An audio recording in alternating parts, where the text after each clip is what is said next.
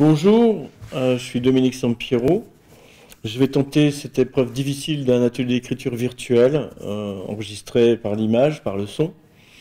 Ce qui est compliqué pour moi, c'est que je ne suis pas animateur euh, d'atelier d'écriture, ça veut dire que moi, mes ateliers, à partir de consignes, à partir des, des, gens qui sont dans le groupe, je construis mon atelier au fur et à mesure, au fur et à mesure des réponses, au fur et à mesure des mots, des phrases qui arrivent. Donc c'est un peu difficile pour moi puisque il n'y a pas de public et je vais juste vous donner humblement quelques pistes pour travailler sur le désir de la lettre, euh, pour travailler avec cette malle qui va voyager euh, dans toutes les bibliothèques du département, euh, avec cet alphabet de lettres numériques, tous les livres de ces poètes et surtout l'anthologie Le désir de la lettre. Donc, la première chose en préambule, c'est un atelier d'écriture, c'est d'abord une ambiance dans un groupe c'est beaucoup de, bienveillance, c'est beaucoup de silence. Il faut imaginer que la première chose d'un atelier d'écriture, c'est cette notion de ralentir le temps. On est un groupe d'individus assis sur des, sur des chaises autour d'une table. On va faire connaissance euh, très rapidement. Et ensuite, des consignes vont venir qui vont permettre à chacun de commencer à écrire en commençant par le mot. Quand les gens disent mais moi j'ai pas, je sais pas écrire, je suis pas doué pour l'écriture, j'ai pas d'imagination, stop. Euh, tout le monde sait parler, tout le monde a des mots dans sa tête. On peut faire des fautes d'orthographe, on peut écrire très mal. L'essentiel, c'est qu'on accepte de faire confiance au groupe et qu'il y ait une matière qui arrive. Il y a quelques petites consignes à donner dans, un atelier d'écriture, à mon avis, du point de vue euh, de cette ambiance euh, d'atelier d'écriture. Premièrement, l'écoute. C'est-à-dire, euh, une des parties importantes de l'atelier qu'on ne vivra pas aujourd'hui, c'est que chacun, à un moment donné, va lire son texte à tour de rôle. Surtout, on ne fait pas de commentaires. Ah, c'est très bien, c'est super ton texte. Non, c'est pas possible parce qu'évidemment, si je fais des compliments à quelqu'un qui vient de me lire un texte et si j'en fais pas au suivant, ben, ça sera dévalorisant pour le suivant. Donc, une des premières règles, c'est d'interdire, oui, dans le cadre, d'interdire les commentaires. On fait silence, les uns et les autres commencent à lire leur texte, et ça c'est extrêmement important. Deuxième chose, on ne se dévalorise pas. C'est-à-dire que euh, la personne qui va dire oui je vais vous lire un texte mais c'est pas terrible ce que je viens de faire, non. Pas question d'auto-commenter et d'auto-dévaloriser dévaloriser, le texte qu'on a écrit. Il y a donc une discipline. Voilà, on peut donner un ordre dans le tour de table je lis mon texte, il y a une qualité de silence, tout le monde écoute, il y a un petit silence, et ensuite le suivant lit son texte, etc. Cette ambiance-là d'écoute et, oui, j'oserais dire de communion ou d'empathie les uns vers les autres, elle passe par le respect, l'écoute et euh, d'éviter de bavarder euh, entre, entre les textes. Je vais donc vous faire, après ce prologue, euh, mais je sais que vous serez tous capables de, faire un atelier d'écriture, vous serez tous capables, vous le faites déjà, j'imagine, de vous emparer des quelques conseils, des quelques outils que je vais vous donner. Mais c'était pour moi important de, de, vous donner déjà le cadre. Donc, nous allons travailler à partir de cette anthologie, qui va être dans la malle, le désir de la lettre, où toutes les lettres de l'alphabet ont été réalisées par un designer, sont des lettres de verre, et chaque lettre a été illustré par un poème très court d'un poète, comme Yvon Lemaine, il a fait un petit poème de quelques lignes sur le chat, etc., Donc évidemment, déjà, par rapport à cette anthologie, elle peut circuler entre les mains des participants, on peut lire des poèmes à haute voix, on peut réagir euh, à ce qu'on aime, ce qu'on aime moins, ce qu'on comprend, ce qu'on ne comprend pas. Mais en ce qui concerne l'atelier lui-même, le jeu numéro un que je vais vous proposer, c'est un inventaire. Le jeu numéro un, un inventaire. Quel est le début de cette anthologie? C'est l'expression lettre de verre. Donc c'est une anthologie qu'on a appelée Le désir de la lettre. Et aussi les lettres de verre, ça c'est le catalogue de toute l'exposition de design de Jean-Baptiste Bertin Blanc. À partir de l'expression lettre de verre, vous allez demander à vos participants de l'atelier de trouver des matières concrète ou imaginaire. C'est-à-dire, on va plus dire les lettres de verre, je vais vous donner un exemple, je vais vous en donner plusieurs, les lettres de chocolat. Voilà, c'est un exemple un peu naïf, enfantin. Je vais associer une autre matière à l'expression lettres, les lettres du silence, les lettres de ciel, les lettres de feu, les lettres de neige, les lettres de plume. Vous voyez, là, je viens de faire 1, 2, 3, 4, 5, 6. Donc, vous demandez à chacun des participants d'atelier de faire 6, 6 euh, phrases, enfin, ce ne sont pas des phrases, 6 images associant les lettres, soit à un mot concret, hein, on peut dire les lettres de, fer, soit à un mot plus abstrait, les lettres de l'amour ou les lettres de la liberté, etc. Donc pour l'instant, chacun compose ça, euh, cherche euh, sur sa feuille avec son stylo à m'inventer des lettres dans une matière imaginaire qui n'a jamais été utilisée. Chacun va lire, donc moi je vous ai dit, les lettres de chocolat, les lettres de silence, les lettres de ciel, les lettres de feu, les lettres de neige, les lettres de plume. Je me tais, l'écrivain suivant, le stagiaire suivant lit son texte, lit son texte, lit son texte, lit son texte. Et déjà, on va s'apercevoir que dans cet inventaire de lettres imaginaires, il y a une sorte de long poème qui est en train de se construire dans le groupe. Tout simplement par l'énumération, une sorte de rêve de lettres qu'on fabriquait, qu'on fabriquerait dans des matières complètement imprévues, complètement loufoques, complètement, on pourrait dire aussi les lettres d'eau, euh, les lettres, de pierre, les lettres de muraille, etc., etc., Donc ça, c'est la première partie du jeu. La deuxième partie du jeu, c'est de demander à chaque écrivain, à chaque stagiaire, de, dans sa liste, c'est pour ça que j'ai dit 6, d'associer deux par deux. Par exemple, moi j'ai associé les lettres de plume dans ma liste avec les lettres de feu. D'accord? Et je lui demande d'ajouter un verbe entre les deux pour qu'il se passe quelque chose d'imaginaire, de, fantaisiste entre les deux lettres, les deux univers de lettres. Par exemple, j'ai marqué les lettres de plume chatouillent les lettres de feu. On n'est pas à se demander est-ce que ça a du sens, est-ce que c'est possible, est-ce que c'est vrai, on s'en moque. Euh, là, j'ai mis les lettres de plume chatouillent les lettres de feu j'aurais pu dire les lettres de plume dévorent les lettres de feu. On n'est pas dans la logique, on est dans, au contraire, la fantaisie, l'onirisme. Euh, on peut transgresser, on peut dire des choses qui n'ont pas de sens. Ça fait du bien de les dire et ça fait du bien de les inventer.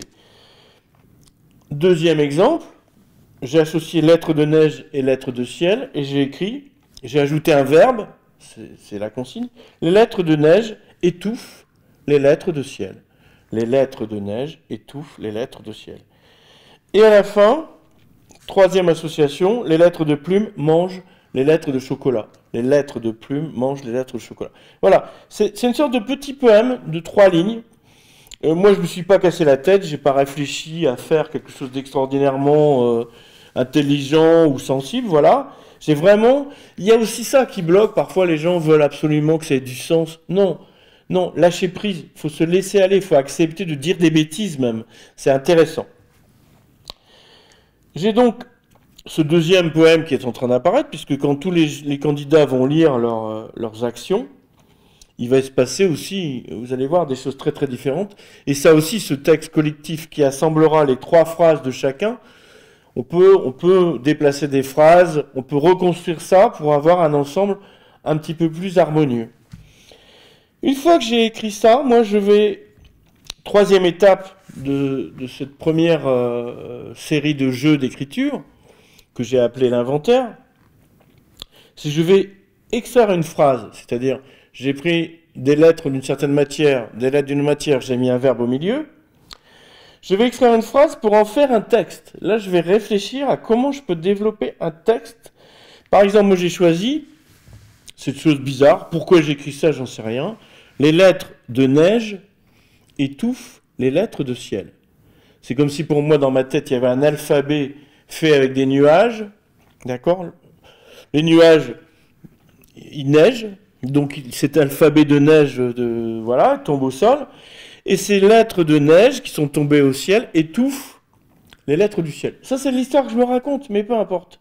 Et à partir de cette phrase, donc, que j'ai choisie dans, la consigne précédente, hein, je vais développer un petit texte, je vais laisser aller mon imaginaire. Et ça donne ceci. Les lettres de neige étouffent les lettres de ciel. On essaie de parler, mais rien ne sort. Chaque pas dans la neige, écrase un mot gelé, caché sous une flaque. Même les oiseaux ouvrent et ferment leur bec dans l'indifférence générale. Les yeux roulent comme des billes, les arbres ont l'habitude de ce silence et continuent de murmurer des phrases d'écorce et de feuillage. Alors vous me direz, oui, là c'est une partie un petit peu plus littéraire, un petit peu plus développée. C'est-à-dire que, effectivement, moi j'ai écrit une, deux, trois, quatre, cinq, six, sept, une dizaine de lignes. Il y en a peut-être qui vont vous écrire deux phrases, il y en a peut-être qui vont vous écrire un peu plus. En tout cas, ce qui est intéressant, voilà, j'aurais pu développer par exemple aussi les lettres de plume chatouillent les lettres de feu. Là, je pourrais faire un texte avec ce, début-là. Mais les gens qui sont dans l'atelier ont eu le choix, ils ont pu choisir euh, l'association euh, qui leur plaisait le plus, et ils ont pu, autour de cette association-là, raconter une petite histoire imaginaire qui n'a pas forcément du sens, mais qui parle d'une poésie de, cet alphabet imaginaire. Donc c'était les lettres de neige étouffent les lettres de ciel. Voilà. On peut s'amuser à faire le jeu euh, aussi. On peut décider, parce que là, on avait fait trois associations, hein, puisqu'on avait six, expressions au départ, les lettres de chocolat, les lettres de silence, etc. Donc j'avais trois fois deux associations. On peut décider aussi de développer les deux autres phrases qui sont restées en jachère. D'accord?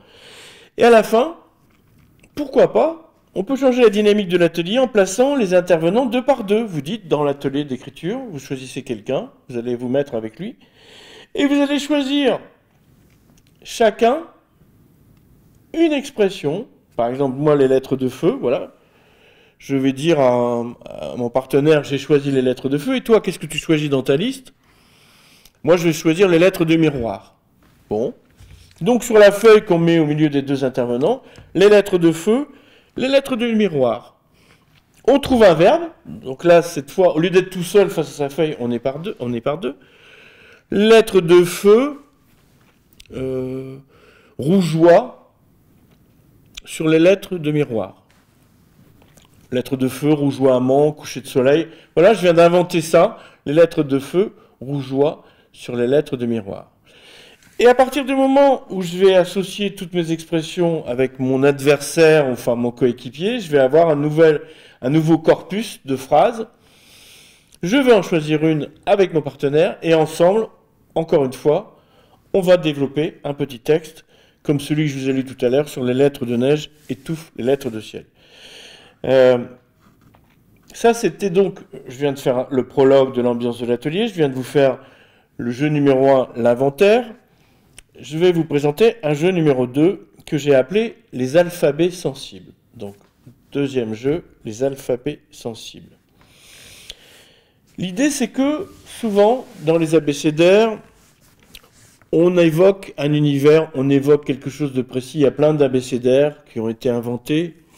Euh, et à chaque fois, cet abécédaire, il suggère quelque chose. Il suggère une ambiance, il suggère euh, une mémoire. Là, ce que je vous demande, par exemple, c'est je vais poser la consigne de l'abécédaire, inventez-moi, donc vous allez demander ça aux participants, inventez-moi un abécédaire de l'enfance. Un abécédaire de l'enfance. C'est-à-dire que pour chaque lettre de l'alphabet, ABCD, nanana, il faut que je trouve un mot qui évoque quelque chose de mon enfance, quelque chose de mes plus jeunes, de mes plus jeunes années. Exemple, donc l'abécédaire de l'enfance. A, moi j'écris A comme amour. Voilà, dans l'enfance, l'amour, il y en a ou il n'y en a pas. B comme bille de verre, parce que c'est une génération où il n'y avait pas de portable, il n'y avait pas de téléphone, etc. Euh, donc on jouait. C comme charabia, parce qu'il y avait des enfants qui parlaient très mal à l'école maternelle, on ne comprenait rien ce qu'ils disaient, etc., etc. Je ne vais pas vous faire tout l'alphabet, je vous ai donné trois mots. Attention, moi, je vous explique, je vous explique la procédure, mais il ne s'agit pas que chacun, quand il va lire son alphabet de l'enfance, explique pourquoi il a choisi tel mot. Il va juste lire son alphabet. Moi, je propose, quand c'est comme ça, on lit d'abord tous les A, ensuite tous les B, tous les C. Ça crée un tourbillon dans le groupe. Et on s'aperçoit qu'il y aura autant de mots, autant d'imaginaires, autant d'univers différents que de personnages dans cet atelier. Ensuite, on est donc dans un moment d'intimité. Ce que je vous ai pas dit au début, c'est qu'évident qu'un atelier d'écriture, il y a de la confidence. Il faut qu'il y ait une ambiance qui se crée, que les gens se sentent bien, qu'ils osent parler parfois de choses qu'ils n'osent pas dire à tout le monde, et que tout doucement, un mot à la fois, dans la pudeur de l'atelier d'écriture, il y a peut-être des gens qui peuvent se mettre à pleurer, il y a peut-être des gens qui peuvent se sentir mal à l'aise. L'atelier d'écriture, c'est aussi un accompagnement vers une introversion. On rentre à l'intérieur de soi. Il est possible que parfois, ça provoque des émotions. C'est très bien, c'est normal, c'est une des fonctions de l'écriture. L'écriture, ça a une fonction de catharsis, c'est une fonction d'apaisement. Une fois qu'on a fait son alphabet des souvenirs d'enfance, un euh, abécédaire de l'enfance, comme je l'appelle, ben je vais reprendre par exemple la lettre A comme amour. Je vous ai dit A comme amour. Et bien cette fois, on va dire aux participants, vous allez choisir trois lettres, trois mots dans votre abécédaire de l'enfance, et vous allez nous raconter cette fois ce que vous avez mis. Pourquoi vous, enfin, pas pourquoi vous avez mis amour, mais le contexte dans lequel ce mot existait dans votre enfance. Exemple, A comme amour. Voilà ce que j'ai écrit moi, comme ça. A comme amour, je recevais plus de câlins de ma grand-mère que de ma mère. Déjà, cette phrase, ça pourrait suffire. Hein. Si quelqu'un n'écrit qu'une phrase, A comme amour, je recevais plus de câlins de ma grand-mère que de ma mère. Mais j'ai continué. Quant à mon père, on aurait dit qu'il avait les bras gelés. Mon meilleur ami était mon oreiller, que je serrais fort dans mes bras pour m'endormir. Donc, ce texte de A comme amour, en fait, c'est aussi ce qui m'a manqué, ce qui m'a réparé, voilà, là je vous donne une explication, mais peu importe. En tout cas, forcément, si on amène un abécédaire de l'enfance, si vraiment les gens ont la sincérité d'aller chercher des mots importants dans leur enfance, il y en a tellement, il va forcément y avoir des souvenirs qui vont revenir, et cet, et cet alphabet-là, cet abécédaire-là, peut être extrêmement sensible et riche. B comme bille de verre, bah moi j'ai dit B comme bille de verre, bah voilà ce que j'ai écrit. Les agates étaient magnifiques. Quand elle roulait, elle dépliait un arc-en-ciel. Celle en terre, c'était pour les jours sans argent de poche. On avait tout dépensé pour le cadeau de fête des mères. Voilà, petite ambiance, voilà. C'est comme charabia. Mon frère n'a jamais appris à parler. Il sortait de sa bouche un charabia incompréhensible. Quand les autres se moquaient de lui, je leur cassais la gueule à la récré. On a compris très tard qu'un filet sous sa langue lui rendait impossible la prononciation. Donc voilà, surtout pas de commentaires parce que à ce moment-là de la lecture et de l'écriture, vous pensez bien qu'il y a des gens qui vont dire des choses intimes. Il faut pas commenter. Et même des fois, les gens vont avoir du mal à lire leur texte. On laisse le silence tranquillement apaiser ce qui vient de se passer. C'est le silence la meilleure récompense de l'atelier d'écriture, c'est la qualité du silence. On va sentir, il faut que les gens se réconcilier avec le silence dans un atelier d'écriture, il faut que les gens se rendent compte que les silences deviennent plus profonds, que les silences transmettent une émotion. Voilà. Ça, c'était donc euh, le jeu numéro 2 que j'ai appelé euh, les alphabets sensibles. Bah oui, c'est assez logique. Je vous donne des pistes. On peut faire l'abécédaire des mots violents. L'abécédaire des mots violents. Vous savez, il y a les femmes battues, il y a les enfants en souffrance. Euh, peut-être que dans ces abécédaires des mots violents, il y a des choses qui vont remonter euh, qu'on n'a pas osé dire à personne. L'abécédaire des mots bruyants, atchoum, badaboum, etc., ou euh, c'est comme claquer la porte, etc., etc. L'abécédaire des mots apaisants, l'abécédaire des mots effrayants, l'abécédaire des mots de souffrance, etc., etc. Encore une fois, moi je vous ai donné quelques petites pistes. À vous de réfléchir à des abécédaires qui vont donner envie d'écrire. Et enfin, pour terminer cet atelier euh, de suggestion, euh, en fait, c'est plutôt vous donner envie, c'est plutôt vous ouvrir des pistes, mais je sais très bien que, que, vous êtes capable de, aussi de désobéir à ces consignes et d'inventer quelque chose de totalement différent, mais au moins vous avez une matière de départ que vous pouvez transgresser. C'est ce que je dis toujours dans un atelier d'écriture. Même désobéir à la règle, c'est écrire. C'est-à-dire que vous n'êtes pas obligé de respecter ce que je demande.